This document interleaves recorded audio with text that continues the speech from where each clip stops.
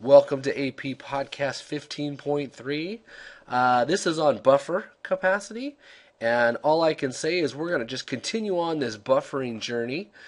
This stuff seems a little uh, intuitive to me, and hopefully it will to you, but there's some really good concepts that are important, and we got to make sure that we can get it. Um, but we'll work a few problems and uh, hopefully just build our buffer repertoire so that uh, we have a really good handle on it. So let's look at this. Um, we're going to calculate the change in pH that occurs when you have 0.01 moles of HCl and we add it to uh, each of the following. All right. Now, this is one of those problems where we add an acid to a buffer, and we've done one before. So, as you guys well know, we've got to do the stoichiometry first. So, what I'm going to do is write out the reaction I'm just going to go H plus plus. Now this AC, of course, is our shorthand way, way of writing acetic acid, but I'll go ahead and write it out. At least the acetate ion, so we don't get confused here. Okay, and uh, and that, of course, would make acetic acid C2. Okay, so here we have our situation where we've got, uh, we're going to add some acid, and how much acid? If you look up there, we're going to add 0.01 mole. Um, and notice here's what's nice. Look at this. It's in a one liter container, right? So we don't have to worry about anything. It's it's 0.01 molar. Okay, and then I have two amounts. I have 5 molar and 0.05 molar. So I'm just going to, let's see, I'm going to draw a line here. Hopefully this is not going to confuse anyone. Here's my 5.0 molar and um, my 0.05 molar, right? Um, and then I'm going to draw a line here and I'm going to go 5.0 molar and my 0.05. You'll see what that line's for in just a second. All right, so now I want to do a little bit of stoichiometry.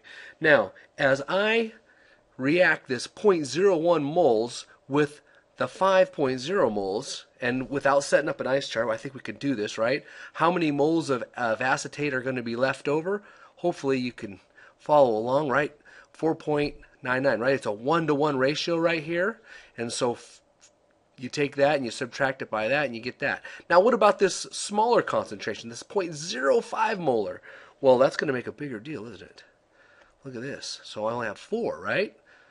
Okay, same situation over here. If I make some acetic acid, I'm going to have this volume, I'm going to have this molarity right here, and this is going to be 0.060. So what we're doing here is we're we're showing what would happen if I add a relatively weak amount of uh, a weak concentration of uh, HCl to two different buffer situations, one that's 5 molar and 0.05 molar. And I think you can see that this one is going to handle uh, that acid a lot better than the other one. And that's what I mean when I say you know, buffer capacity is just kind of intuitive. It's stuff that makes sense. Um, so when when I use the Henderson Hasselbalch, and I hope I'm not going to upset too many people by not doing it, but when I use the Henderson Hasselbalch equation, I get a pH uh, with this one that started at 4.74, and when you're all done, it's still 4.74. Now you're going, how can that change? Well, the ratio of 4.99 to 5.0, when you when you go ahead and take, uh, you know, divide one, uh, the acid into the base and take the log of that, you, you get essentially a, a number that's not going to change this. Okay, but in this one, however, uh, maybe I ought to just be a good teacher and just do this. 4.74 plus the log of uh, 0.04 divided by 0.06 and that ends up equaling uh, a negative 0.18 and so when I add that to uh, the 4.74 I get a, a pH of 4.56 okay?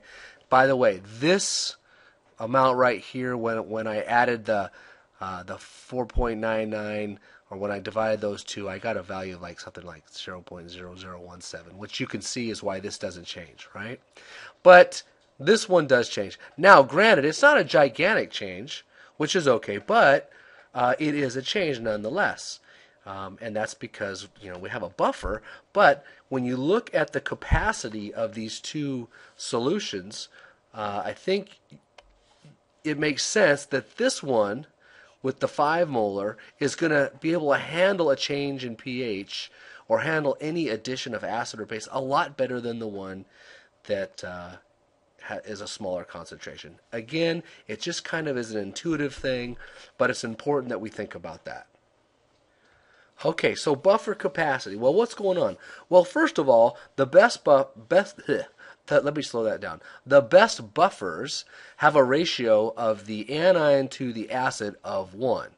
And you know, the situation is like if I have 0.50 over 0.50, right? That equals 1. So when we have these concentrations the same, that's the best buffer we can have. That's the most resistant to change. And that, of course, uh, again, Captain Obvious, thank you, Mr. Richardson, uh, when those two concentrations are the same. Okay? And so uh, it's important that we look for that when we're trying to examine a buffer situation, and then we want to also think about the concentration. Now, you might see a question once in a while where it says, make a buffer with a uh, that'll handle a pH of X. And I'm only we're only going through this because every once in a while this kind of this question pops up, and I want to make sure that you guys get this stuff. So the way we choose a, a buffer, and if we think about the Henderson uh, equation, you know, pH equals the pKa plus the log of A over HA. All right. And we're going to make a buffer where that little quantity right there equals 1, right? So if this is 1, okay, what's the log of 1? Well, you guys know the log of 1 is 0, right? So if we want to do that, we want our uh, buffer uh, to have a pH close to the uh, a pK close to the pH that we're looking for, and we'll get more into um, that kind of stuff when we start doing our titration. So let me show you what kind of question you might see with this. Okay, so here's a chemist. The chemist needs to make a buffered solution of 4.30 and they can choose from the following acids and their salts, right? Now I just mentioned that you want to use uh, a salt that has a pKa close to the pH. So this problem is is not very difficult. Your book goes through a bunch of stuff and calculates using the equilibrium expression. And I just find it silly, all right? Because basically, what do you have to do with these Kas? Okay, as you guys know, you just have to take the negative log of these guys, right? And you can find the pKa. So I've got these numbers jotted down. Let me write them. When I do that, I get a pKa of 2.87, 4.89, 4.19, and 7.46, all right? So again, if I wanted uh, a buffer with a certain pH, Okay, and why that's going to be important is again will be more obvious to us when we start doing our titration equations. I'm going to look for the pKa that's closest to the pH I'm looking for. And so in that situation, I would choose this one. Hopefully you would agree with me there, right? Uh, 4.1. That's pretty darn close to 4.30. I, the only reason we're doing this is because again, it's one of those questions you see every once in a while, and sometimes it throws students for a loop, and and uh, I don't want that to happen to you guys. Okay, so there's buffer capacity. Again, the important stuff is that you really pay attention to this concentration, right? And you really pay attention to the fact that this ratio uh, equaling 1 is very important. If you got that, you're in great shape. I'll see you guys in class, and we'll talk about any questions that you may have. See you next time.